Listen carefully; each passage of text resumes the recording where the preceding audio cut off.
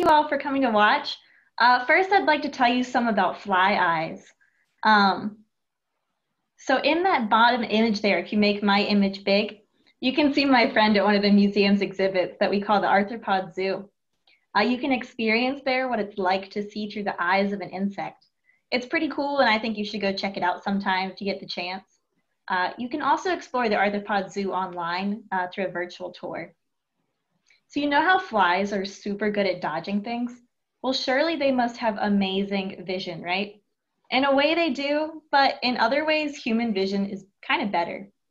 Flies have lots and lots of tiny lenses in each eye. See that really big image of a fly on my screen? Type in the chat your guess of how many lenses you think that fly has. Is it seven? Is it 7,000? If you have any guess of how many lenses that fly has, put it in the chat. All right, I am not seeing, oh, okay. Mm-hmm. Oh, Miranda thinks 2,500. Azure says 8,000 and Adam says a million. Those are all awesome guesses. It's, it's hard to know what how many that exact fly has. So your guess could be how many that fly has, but most flies have about 4,000 lenses in each eye. Man, I'm loving your guys' guesses. Great job. So in that picture there, we can, can you see each little tiny lens? Each lens there sees a separate image. And we call this a compound lens. This allows flies to be really good at detecting motion, but they aren't as good as seeing far off detail like us. So today, for our craft, we're gonna be making our own pair of fly eyes. Here you can see two of me holding what we're gonna make today. So we're gonna make these little bubble wrap eyes that kind of look like the compound eye of a fly. So each little bubble is like a little lens, but you can count when you do it yourself, but I don't quite think there's 4,000 and that's okay, we're just pretending. Okay, so today we're gonna be making our own pair of fly eyes. I'll be walking you through the steps but it can take a while to cut and glue things. So here's what I'd like you to do.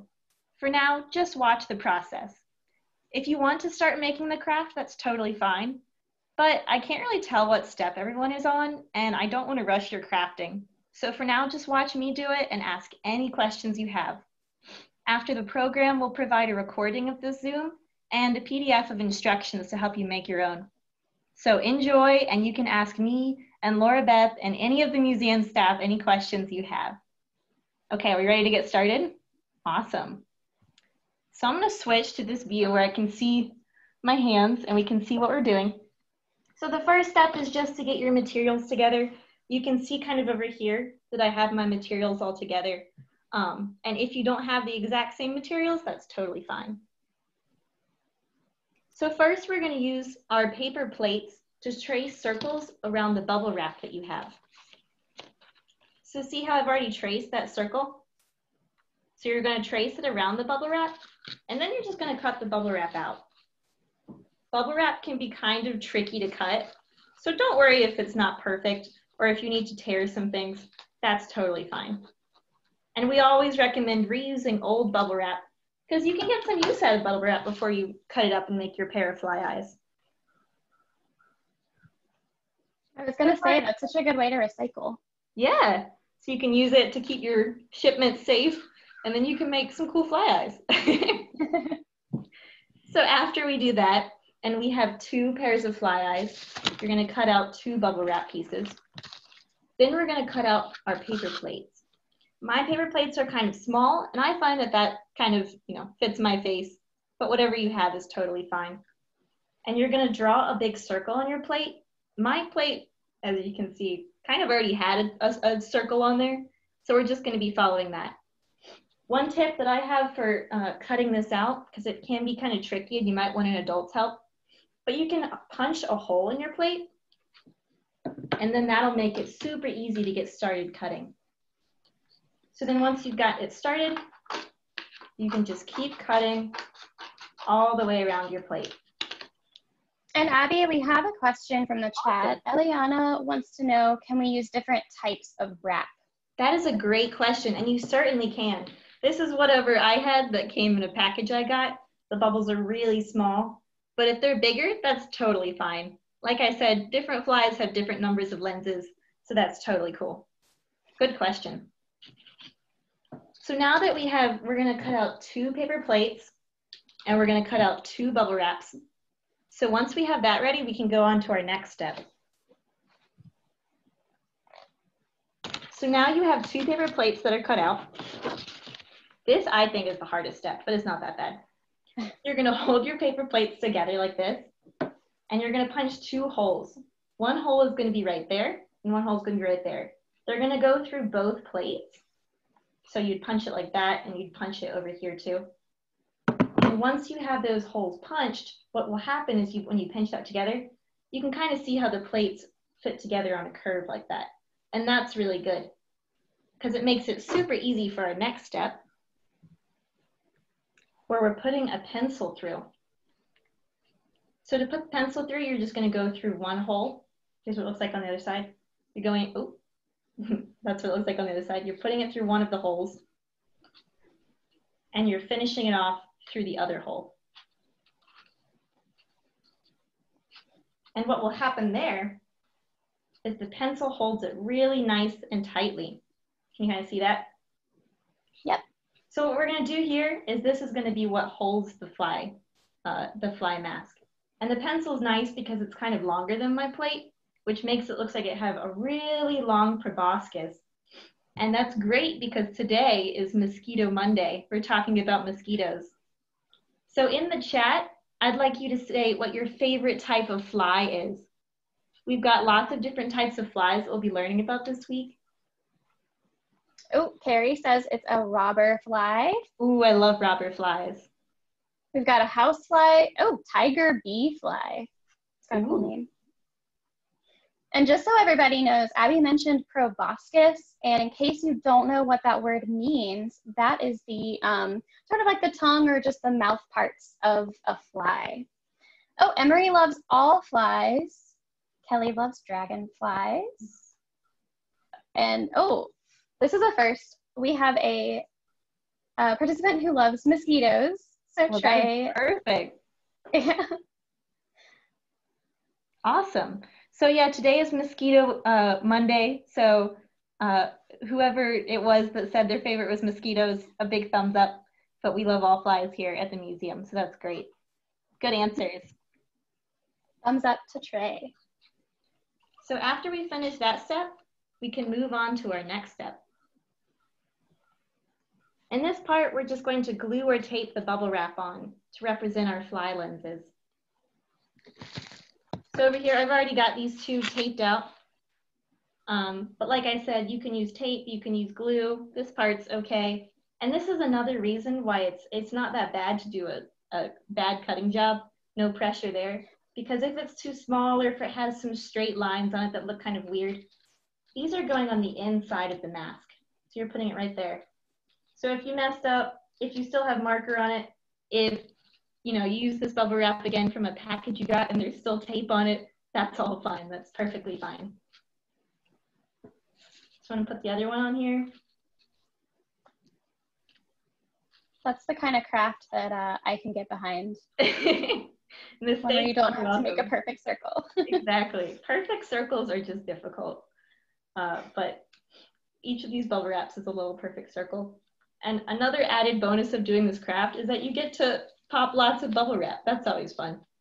So you can get some nice stress reliever while you're making your fly eyes.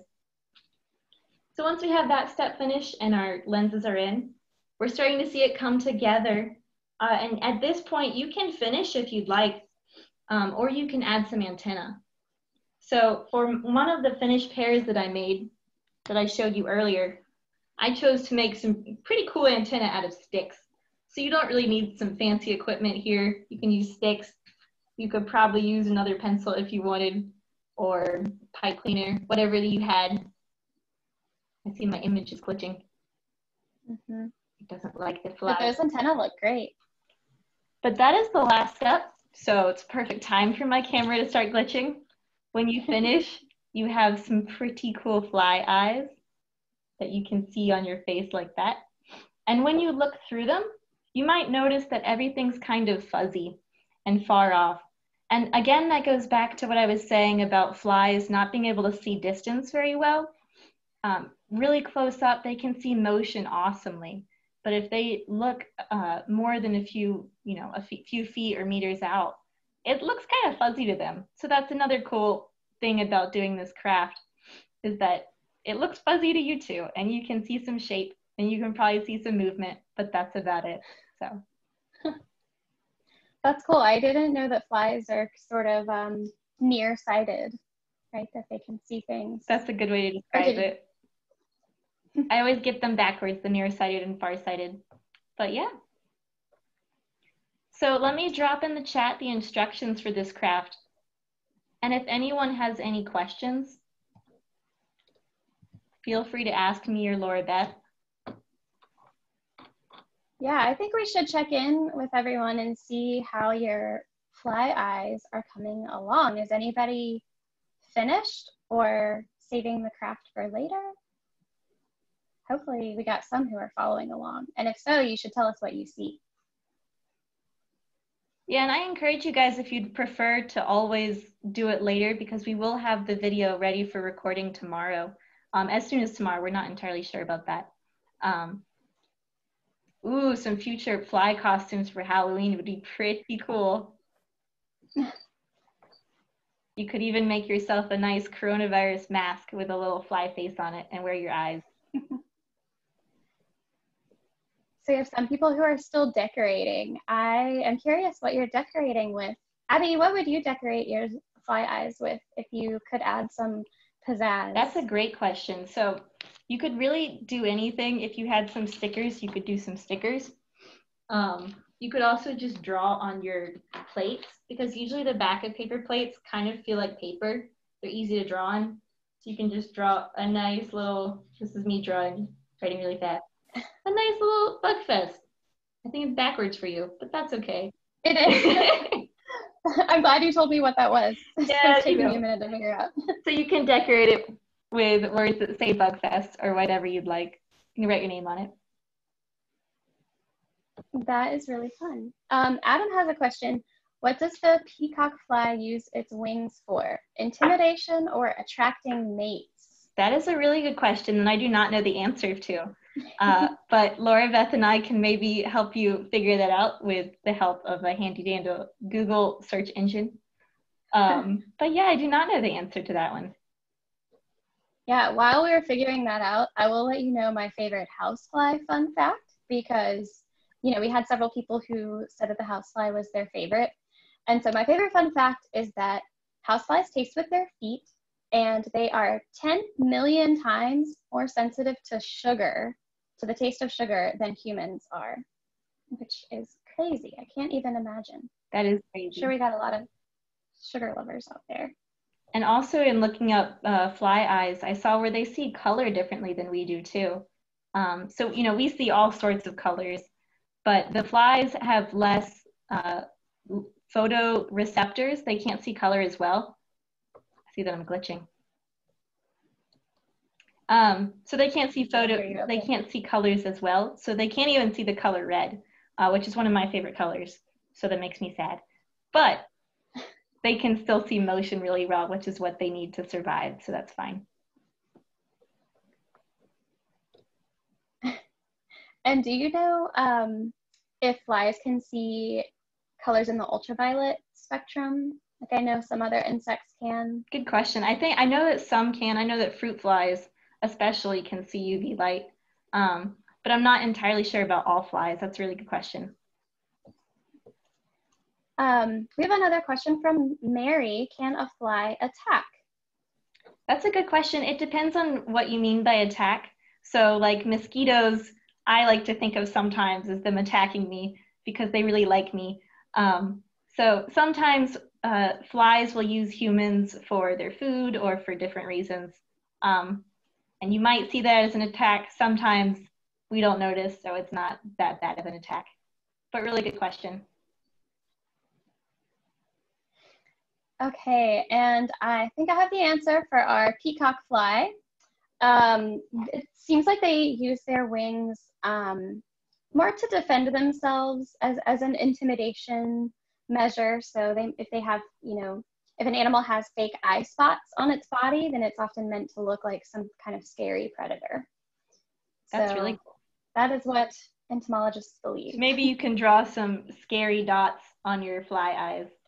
You can get some big, uh, draw some big polka dots on there and scare away any other flies.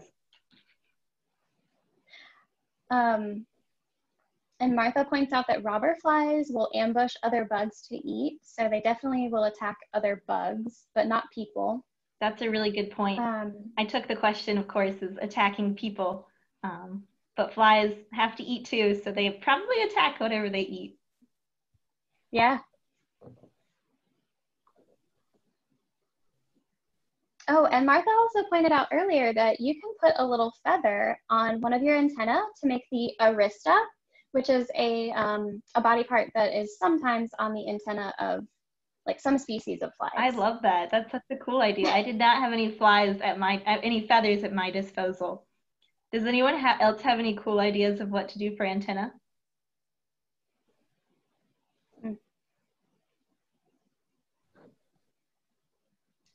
I do not. I too sometimes attack But ice um, cream. well, pipe cleaners. Oh, springs. That's a good call. Or um, metal, metal wiring. Maybe. Oh yeah, you can make some really little ones with paper clips. hmm We should see how diverse we can make our our flies. We each make fly. Big leaves. I love that. I love that. Yeah, when I got my sticks, I kind of just walked outside and was like, I don't have anything to make antennas, so I'll grab these sticks because they look cool. So you can really try anything. Yeah. Well, wonderful. Ooh, they, you like the sticks? I like the sticks too. I liked how they curved. Pretty cool. Well, that is all the instruction that I have for this craft. If you, ooh, we got one more question. Oh. Oh yeah, Adam. Um, are crane flies true flies or are they misnamed? They are in fact true flies. And um, we've also had a lot of people asking how, um, or asking if crane flies are mosquitoes, and they are not the same as mosquitoes. In fact, they don't even drink blood like mosquitoes. Often the adults don't eat anything at all, let alone blood. Well, that is very Um, interesting. yeah. Good questions. And how many wings do they have? Abby, most true flies, they have two wings, That's right. Or all Mhm. true flies. Yeah. All right. Well, um, could continue to submit questions if you have them. And if we run out of time, we can always answer them in email. Um, if you loved this craft, you should also try to make some chalk art and you can submit that to our BugFest team. And those instructions are on the website, um, bugfest.org. And if you are so inclined, you can also donate. Um, donate or you can purchase a t-shirt um, and you can get a free t-shirt bugfest t-shirt when you join or renew your museum membership so if you want to rock a t-shirt just like all of our bugfest crew then you can do that